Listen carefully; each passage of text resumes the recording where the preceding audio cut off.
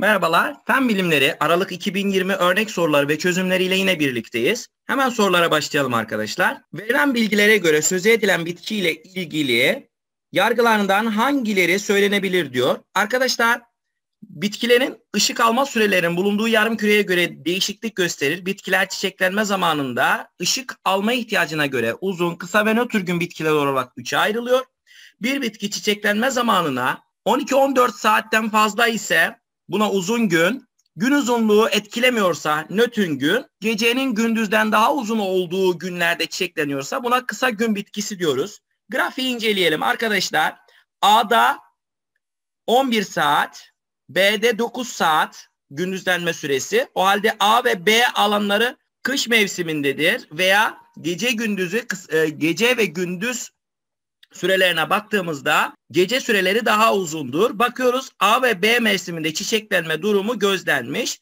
C bölgesine baktığımız zaman gündüz süresi 17 saat. O halde bu yaz mevsimi.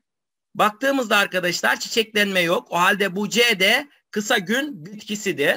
Gece süresi uzun olduğundan kısa gün bitkisi C ise çiçeklenmediğinden C de kısa gün bitkisi olur arkadaşlar. O halde hemen bakalım. A ve B bölgeleri Güney yarımkürede ise Haziran, Temmuz, Ağustos aylarında çiçeklenebilir.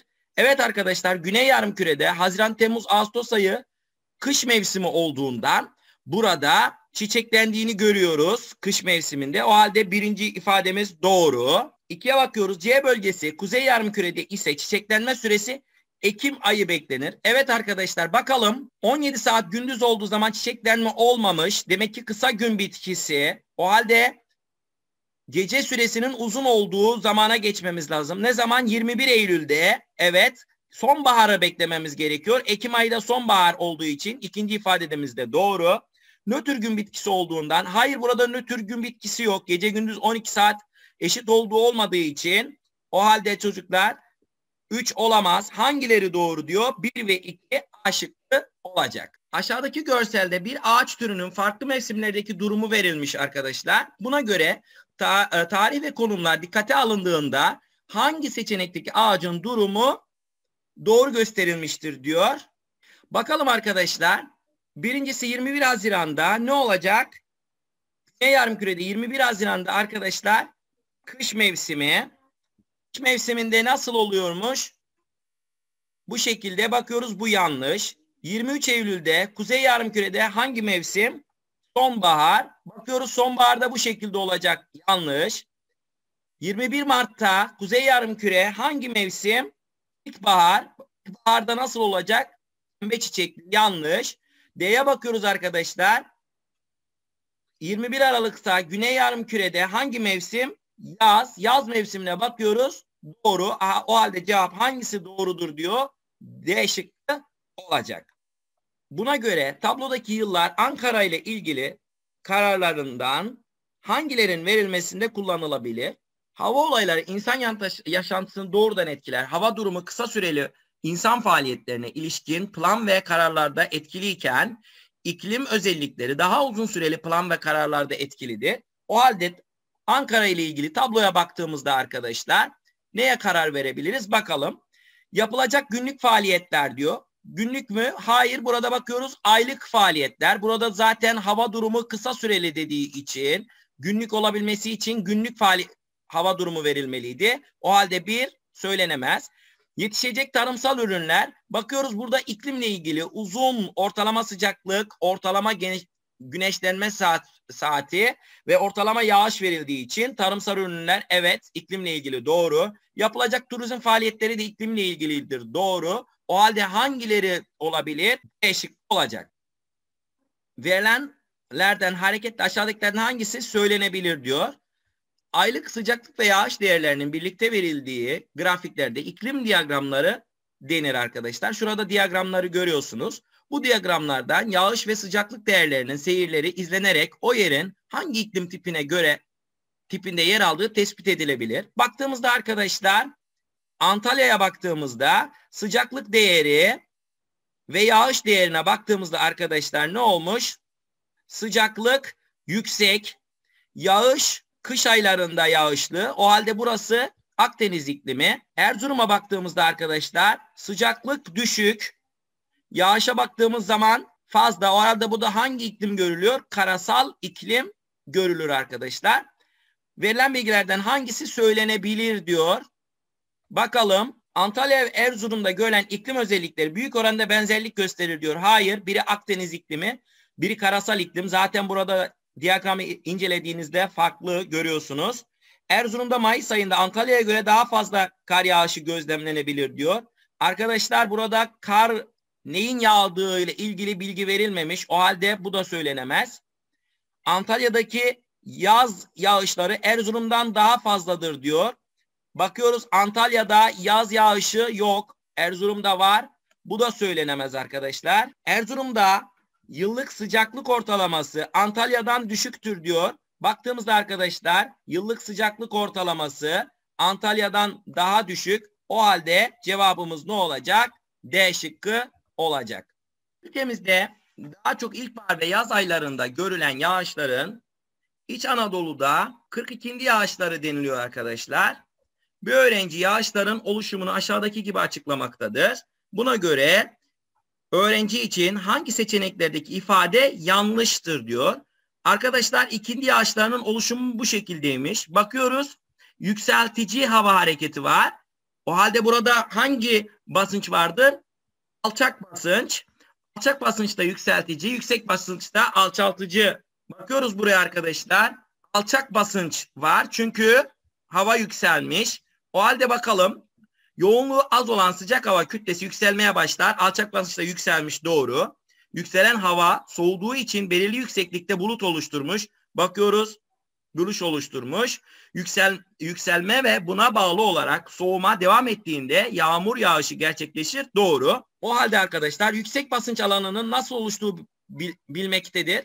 Arkadaşlar burada yüksek basınç değil alçak basınçla ilgili verilmiş. Hangisi yanlıştır? Aşık yanlıştır. Hava durumu ile ilgili bazı semboller aşağıda verilmiştir. Bakıyoruz arkadaşlar sembollere. Buna göre tablodaki yorumlardan hangisi yapılamaz diyor. Baktığımızda arkadaşlar çarşamba günü öğlen ve akşam saatlerinde hava belirgin şekilde rüzgarlıdır. Bakıyoruz çarşamba öğlen ve akşamda rüzgarlı doğru.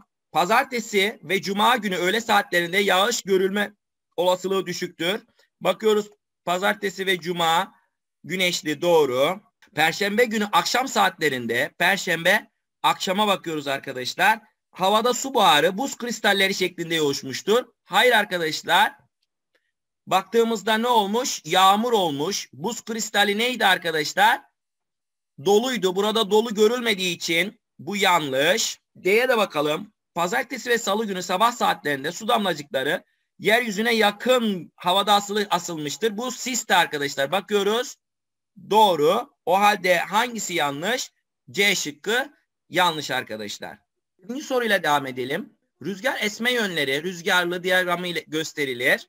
Bakıyoruz arkadaşlar rüzgar gülü diyagramına. Taralı olanlar o yönden esen rüzgarların sıklığını göstermektedir. Aşağıdaki bu gölgeye ait rüzgar diyagramı verilmiştir.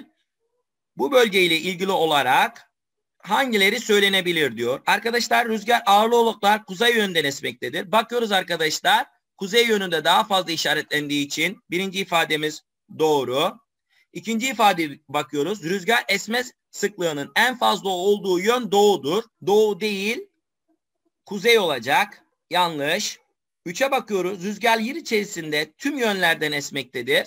Bakıyoruz tüm yönlerden esmektedir. Fakat bu soruda bu da doğru arkadaşlar. Fakat bu soruda bir eksiklik var arkadaşlar. Çünkü diyagram yıllık olarak oluşturduğu için burada belirtilmesi gerekiyordu. Yıl içerisinde dedi. Yıl içerisinde doğru ama bunun yıllık olarak çizildiğini belirtilmesi gerekiyordu. Bu soruda birazcık eksiklik var. Cevabımız 1-3 C şıkkı olacak. 8. soruya bakalım arkadaşlar. Buna göre soy ağacındaki bezelyelerle ilgili aşağıdakilerden hangisi söylenemez diyor. Bir kalıtsal özelliği nesiller boyu nasıl aktarıldığını gösteren şemaya soy ağacı deniyor. Soy ağaçlarında aralarında çizgi bulunan bireyler çaprazlanmış demek. Bu çizginin ortasında aşağı inen çizginin uçlarındaki bireyler ise çaprazlama sonucu oluşan bireylerdir. Bezelyelerin boy uzunluğu kalıtımı ile ilgili çizilen soy ağacındaki boyalı boyalı bireyler kısa boyludur. Arkadaşlar kısa boyluymuş, çekinikmiş. Burada biz bunların neyini bulmamız gerekir? Genotiplerini. Genotiplerini en bilinenden başlayarak yani burada 4, 8 ve 9 küçük küçük olacak. Hemen genotiplerini yazalım arkadaşlar. Küçük küçük aşağıdan başlıyoruz yazmaya. Küçük a küçük a, küçük a küçük a, küçük a küçük a olduğu için burası boyalı olmadığı için arkadaşlar bu ne olacak? Biri büyük, biri küçük. Yani heterozigot olacak. O halde bu da büyük A küçük A olur. Büyük A büyük A olamaz. Geldik buraya arkadaşlar. Buradan küçük A küçük A geldiği için bunlardan kesinlikle küçük A gelmek zorunda. 1 ve 2 ne olmalı? Heterozigot olmalı. O halde arkadaşlar 3 ve 5 hem heterozigot olabilir hem homozigot olabilir. Büyük A büyük A olabilir. O halde şıklarımızı okuyalım. Bir ve ikinci bireyler kesinlikle melezdir. Evet bakıyoruz. Melez. O halde A şıkkını eliyoruz. 5 numaralı birey homozigot baskın olabilir. Bakıyoruz homozigot baskın olabilir. B şıkkını eliyoruz. 7 numaralı birey kısa boyluluk geni taşımaktadır. 7 numaraya baktığımızda kısa boyluluk geni taşıyor. Doğru. 6 numaralı bireyin genotipi tam olarak tespit edilemez. Hayır arkadaşlar kesinlikle tespit edilebilir. Çünkü burada küçük a küçük a olduğuna göre ve burada taralı olmadığı zaman kesinlikle büyük geleceği için burası büyük a küçük a yani heterozigot olacaktır. Hangisi yanlıştır dediği için söylenemez dediği için cevabımız D şıkkı olacaktır. Arkadaşlar 1 ve 2 ile belirtilen kutulara hangi kavramlar gelmelidir diyor. Futoski sütunlar ve satırlardan oluşan bir oyun arkadaşlar. Kutular arasında küçük ve büyük sembolleri bulunuyor. Bu sembollerde kutulara yazılabilecek kelimeler arasında büyüklük ve küçüklük ilişkisi var. Kelimeler tabloyu yerleştirirken semboller dikkate alınmalıdır. Oyun kuralına göre bir kelime her satır ve sütunda mutlaka bir kez bulunmalıdır. Arkadaşlar şuraya dikkat ediyoruz. Her ve satır ve sütunda mutlaka bir kez bulunmak zorunda. O halde tabloda kromozom, DNA, gen, nükleotit kavramlarıyla doldurulacaktır. Arkadaşlar hemen şunu bir hatırlatmış olalım. Kedi gendi yani en büyük kromozom, DNA, gen, nükleotit. Bu bilgilere dayanarak arkadaşlar burayı dolduralım. Genden küçük ne olabilir? Nükleotit. Şuraya baktığımızda DNA'dan büyük ne olabilir? Kromozom. Arkadaşlar birinci satırımızı doldurduk. Sonra arkadaşlar bilinenlerden devam ediyoruz. Genden küçük ne olacak arkadaşlar?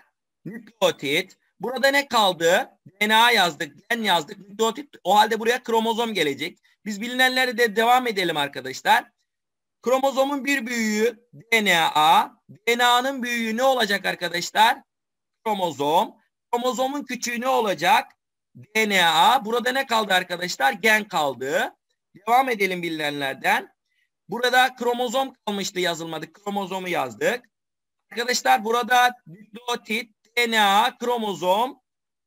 Burada ne kaldı? Gen kaldı. Geni yazdık. Sonra arkadaşlar burada kromozomu yazdık. DNA yazdık. Gen yazdık. Ne kaldı? Nükleotit kaldı. Arkadaşlar burada kromozom, nükleotit. Burada nükleotit yazdık. Kromozomu yazdık. DNA'yı yazdık. Burada ne kaldı arkadaşlar? Gen kaldı.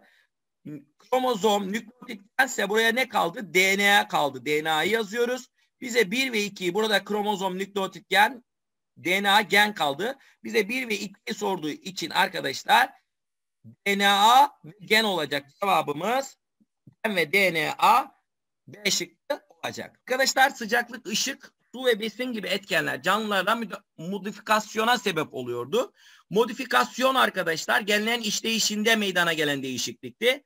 Bir çocuk ailesiyle birlikte dağa gezmeye gittiğinde oradaki karaindiba bitkisinin boyunun evinin bahçesinde çıkan karandiba bitkilerinden kısa olduğunu gözlemliyor. Bu bitkilerden aldığı tohumları evinin bahçesine ekiyor. Arkadaşlar bakıyoruz karandiba bitkisi dağda yetişen kısa boylu, evinin bahçesinde olan uzun boylu. Dağda yetişenin tohumunu alıp evinin bahçesine diktiğinde ne olmuş? Uzun boylu olmuş. O halde arkadaşlar buna göre yargılardan hangileri doğrudur diyor. Dağda yetişen karayindaba bitkisi evinin bahçesinde yetişen karayindaba bitkisinden büyümeye neden olan genlerin işleyişi farklı olabilir. Evet işleyiş dediği için bu modifikasyondur bir doğru. İkiye bakıyoruz. Dağda yetişen karandiba bitkisinin tohumu evinin bahçesinde ek ekildikten sonra genlerinde yapısal değişiklik meydana gelmiştir diyor. Yanlış arkadaşlar yapısal değişiklik neydi? Mutasyondu iki yanlış. Kandiba bitkisinin değişik ortamlarda boylarının farklı olması modifikasyonu örnektir. Evet burada modifikasyonu örnektir. Doğru. O halde 1 ve 3 doğru. Cevabımız B şıkkı olacak. Arkadaşlar kanala abone olup like atmayı unutmayın. Beni dinlediğiniz için teşekkürler.